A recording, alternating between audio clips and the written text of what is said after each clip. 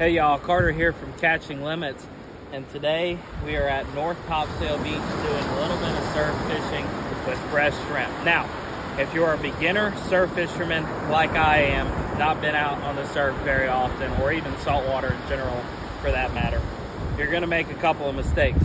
Don't make the same mistake I did. I've got my fresh shrimp here. They are uh, headless, but they still have the shell and the tail on. Now, you have to peel them. Gotta peel them. And then what you're gonna do for your smaller fish, your whiting, most of your surf fish, you're gonna cut them in half just like that.